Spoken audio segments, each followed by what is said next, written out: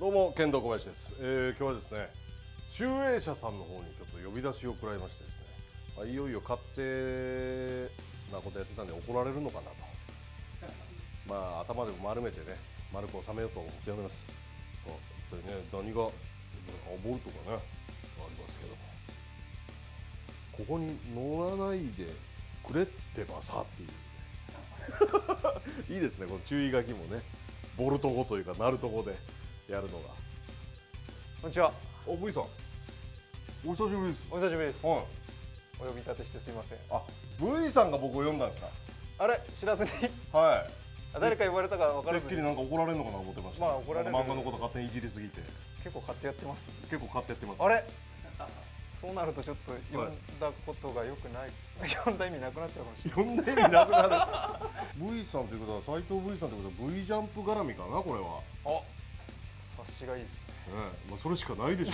こんなのこんなの着てるんやからあからさまに来てます。はいはいはい。そう V さん。はい。ここに呼びあの改めて席設けましたけども、はい。でお話っていうの実はですね、ははい。あの僕今 V ジャンプの副編集長えそんな偉かったんですか？実は。言ってくださいよ。態度変えますよこっちも変えてもらえます？はい。あ雑魚編集分野思ってましたよいやまあそうですね。はい。雑魚は雑魚なんですけど。雑魚は雑魚でも副編集長一応なんかあそれすごいじゃないですか。はい。はい。それで、まあ、V ジャンプって紙の雑誌の V ジャンプも、まあ、ずっとやってるんですけど、はいはいこちらね。今度新しく、まあ、ウェブサービスメディアなのかな、うん。V ジャンプレイっていうのを、V ジャンプレイ。はい、サイトを。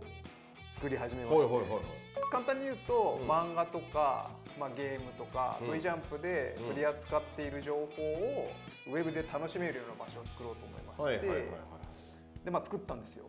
7月終わりかな？はい。はいまあ全然人が来ないという。全然人が来ない。何でもまあ立ち上げっていうのは苦しいですからね,、まあね。はっていう状況もありましいてなるほど。ちょっと力を貸してほしいああそういうことでしたか。はいああで何したいですか僕は具体的には？まあえっと簡単に言えば、とにかく人を増やしたいっていうところなんでいろんなところで宣伝をしたいんで、うんうん。まあ小林さんがいろんな番組とかで培ってきた、はい。こう例えば人を巻き込んでもらはいはいはい。う力とか、人を巻き込む力は、はい。あのあるないではあると言われてますよ。言われてますかはい。ちょっとそうもうちょっと自信持ってくださっても全然いいのかもしれないですけど、はいはいはいはい。であとやっぱり漫画お好きじゃないですか。そうですね。でなるべくこの漫画好きの人たちが集まってでなんかこう盛り上がるような、うん。コミュニケーションを取ったりとか、うん。あるいは今週も面白かったよねうん。とかっていうサイトにしたいんで、なんかそういうその漫画好きを溢れるコンテンツみたいなのを作りたいなと思って。漫画好きはとりあえずチェックしてしまうようなサイトに、はい。